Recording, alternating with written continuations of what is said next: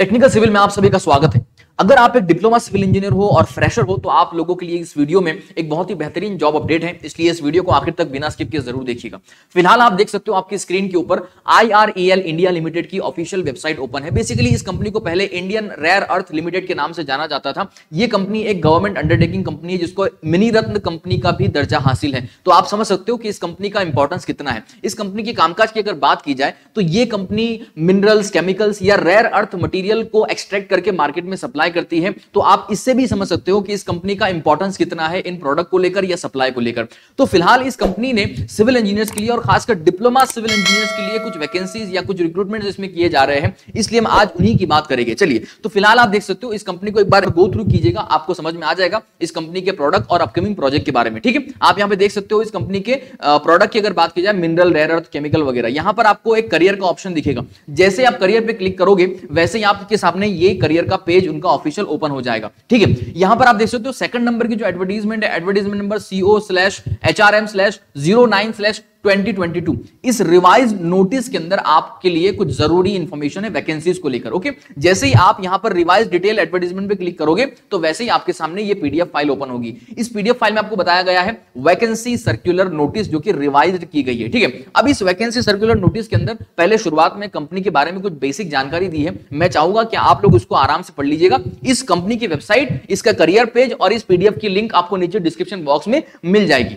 आप वहाँ से क्लिक करके इन सभी चीज़ों को एक्सेस कर सकते हो, ठीक है? चलिए तो शुरुआत में आपको कुछ इंपॉर्टेंट डेट्स दिए यहाँ पर opening date and time for the online registration यानी इस एप्लीकेशन या इस वैकेंसी के लिए 17 छह 2022 से ऑनलाइन रजिस्ट्रेशन स्टार्ट हो चुके हैं और आखिरी डेट है अप्लाई करने की 14 सात 2022 ठीक है? यानी अब भी आपके पास अच्छा खासा समय है, अगर आप इसके लिए एलिजिबल ठहरे जाते हो तो आप ज़रूर अप्लाई कीजिएगा, ओके? तो अब यहाँ पर अगर डिटेल्स देखे पोस्ट की कौन कौन सी पोस्ट पे कितनी वैकेंसीज है और क्या क्या उसकी रिक्वायरमेंट है वो अगर आपके सामने देखें तो बेसिकली यहाँ पर 2.1 सेक्शन है नॉन यूनियनाइज्ड सुपरवाइजरी कैटेगरी ठीक है? तो यहाँ पर देखा जा सकता है आपको पोस्ट नंबर वन देखे ग्रेजुएट ट्रेनिंग जो कि फाइनेंस में है, इसका हमें मतलब नहीं है। उसी तरह से दूसरा है ग्रेजुएट ट्रेनिंग इसमें है एचआर के लिए, ये भी हमारे लिए मतलब का नहीं है। तीसरा जो पोस्ट है, वो है डिप्लोमा ट्रेनी टेक्निकल अब यहाँ पर हमारे लिए देख, आप सकते हो डिप्लोमा सिविल अगर आपके पास है तो आप इसके लिए एलिजिबल हो, ठीक है? यहाँ पर कुल 19 वैकेंसीज है, जिसके अंदर अनरिजर्व जो है एट है और बाकी सारी एस सी वगैरह के लिए रिज़र्व सीट्स है। तो आप इसके अकॉर्डिंगली अंदाज़ा लगा सकते हो और अगर आपको लगता है कि आपको वाकई में इसमें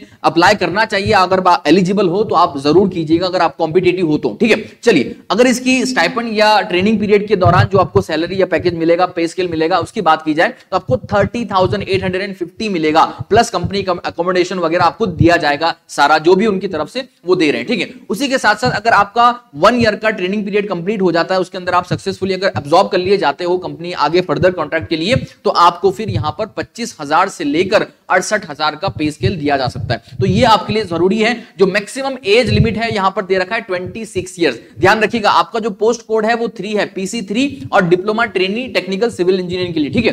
तो इसके पोस्ट के लिए आपको यहाँ पर अप्लाई करना होगा, अगर आप चाहते हो तो। चलिए, उसके अलावा यहाँ पर कुछ टर्म्स एंड कंडीशन देने की मैं चाहूँगा कि इस डिटेल नोटिफिकेशन को आप इतमान से आराम से डाउनलोड करके पढ़ लीजिएगा। इस पूरी नोटिफिकेशन को अगर मैं यहाँ पर डिटेल में पढ़ने जाऊँगा तो बहुत लेंदी वीडियो बन जाएगा, इसलिए मैं इसको अवॉइड कर रहा हूँ, ठीक है? आप लेकिन उसको ज़रूर पढ़ लीजिएगा। चलिए, इसके अलावा यहाँ पर अगर नॉन एग्जीक्यूटिव वर्कमैनशिप भी हमारे काम की चीज़ें नहीं है, इसलिए मैं यहाँ पर इसको कवर नहीं कर रहा हूँ। टर्म्स एंड कंडीशन की बात की जाए तो देखिए यहाँ पर candidate selected for the post with post code PC six या पीसी सेवन पीसी एट ये हमारा नहीं है, हमारा पीसी थ्री है, ठीक है? याद रखिएगा। तो पीसी थ्री के रिलेटेड जो भी चीज़ें हैं, उस पर आपको फोकस करना होगा और उसी के अकॉर्डिंगली आपको डिटेल्स यहाँ पर एब्जॉर्ब करनी पड़ेगी, ठीक है? चलिए तो यहाँ पर आपको दे रखा है आगे ट्रेडमेंट की वगैरह की क्वालिफिकेशन अच्छा क्वालिफिकेशन की अगर बात की जाए एक्सपीरियंस की बात की जाए तो आपको यहाँ पर दिया PC one two PC three PC three हमारा पोस्ट कोड है, ठीक है?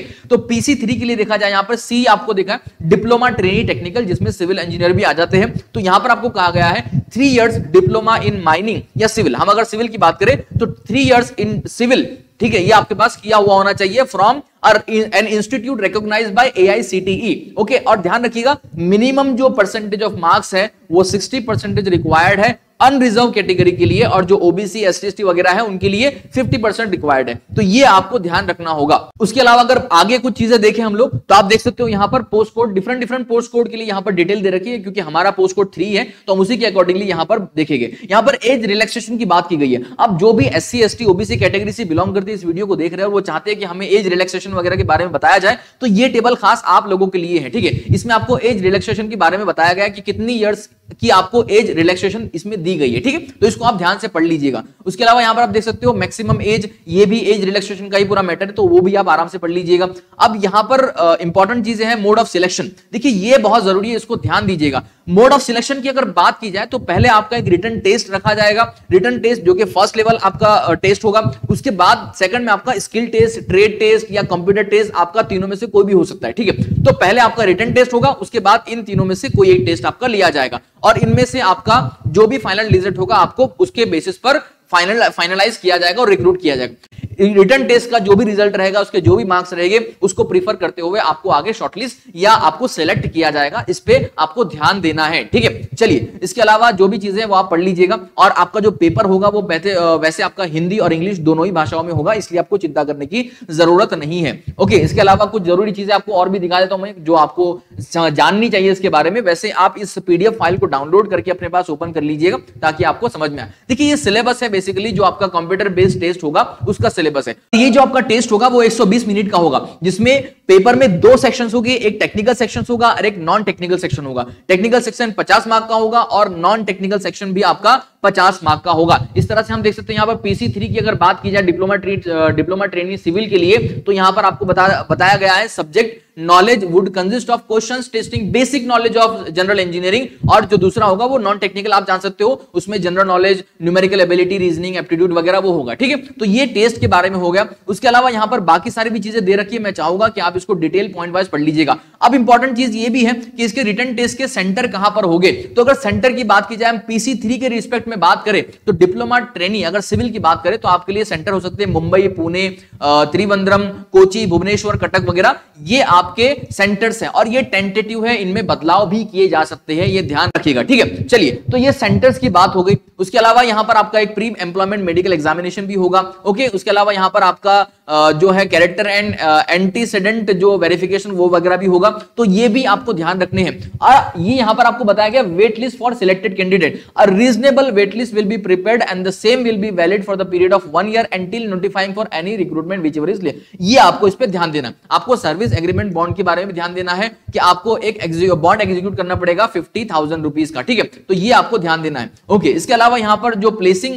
जो है पोस्टिंग की, वो अगर बात की जाए उसकी तो यहाँ पर आप देख सकते हो अगर आप डिप्लोमा ट्रेनिंग सिविल की बात कर रहे हैं हम अगर पीसी थ्री के लिए तो selected candidate will be posted in any of the unit office establishment project side of the company यानी पैन इंडिया में जहाँ पर भी उनके यूनिट्स है ऑफ़िस है, या प्रोजेक्ट है, उनको जहाँ पर भी आपकी ज़रूरत पड़ेगी, वो वहाँ पर आपको पोस्ट कर सकेंगे। तो इस बात का आपको संज्ञान लेना है, ठीक है? ये कुछ ज़रूरी बातें थी इसके अंदर। एप्लीकेशन फ़ीस की अगर बात की जाए तो चार सौ बहत्तर four hundred and seventy two rupees आपकी नॉन रिफंडेबल एप्लीकेशन फ़ीस होगी और ये फ़ीस केवल उनको ही पे करनी होगी जो अनरिजर्व कैटेगरी से है और मेल कैंडिडेट है। अगर आप एक फीमेल कैंडिडेट है वुमन है आप और एस सी या पीडब्ल्यू वगैरह कैटेगरी से आते हो तो आपको फ़ीस पे करने की ज़रूरत नहीं है, ये भी आपको ध्यान रखना है। अप्लाई कैसे करना है, ये आपके लिए सवाल है। तो अप्लाई करने के लिए आपको कुछ नहीं करना है, इनकी वेबसाइट है, उसको ओपन करना है करियर पेज ओपन करना है, और यहाँ पर आपको दिख रहा है click here to apply online इस पे क्लिक करते ही आपके सामने एक ऑनलाइन एप्लीकेशन का फॉर्म ओपन होगा, यानी एक पेज ओपन हो जाएगा। यहाँ पर आपको पहले बता रखा है इंपॉर्टेंट डेट्स और यहाँ आपको बता रखा है fresh candidate to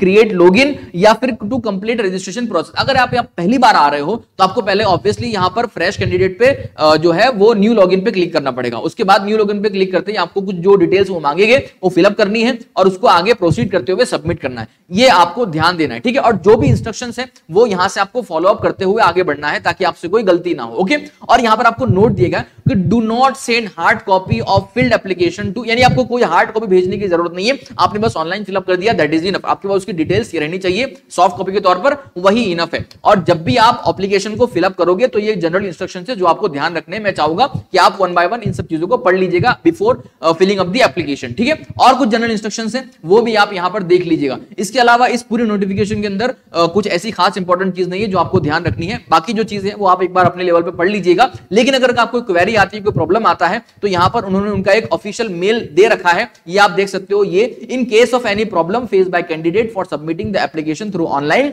they may send email to companies email यानी ये उनका कंपनी का ईमेल है। अगर आपको ऑनलाइन एप्लीकेशन सबमिट करते हुए कोई प्रॉब्लम आ रही है तो आप इस मेल पर उनको कांटेक्ट कर सकते हो। वहाँ से कंपनी वाले आपको कम्युनिकेट करेंगे। ठीक है? तो ये चीज़ें थी इस पूरी वैकेंसी के बारे में। उम्मीद है आपको इसके बारे में संपूर्ण जानकारी मिल चुकी होगी और इस नोटिफिकेशन की डिटेल या पूरी लिंक वगैरह आपको नीचे डिस्क्रिप्शन बॉक्स मिल जाएगी। तो वहाँ से आप इसको डाउनलोड करके इतमान से पढ़ लीजिएगा और उसके बाद ही अप्लाई कीजिएगा। तो उम्मीद है आप लोगों को पसंद आएगा वीडियो। अगर वीडियो पसंद आए तो इसको लाइक कर दीजिएगा और इसी तरह की ढेर सारी वीडियो अपडेट्स आप तक मिलती रहेगी जॉब के बारे में, इसलिए हमारे इस चैनल के साथ बने रहेगा मिलते हैं अगले वीडियो में, धन्यवाद।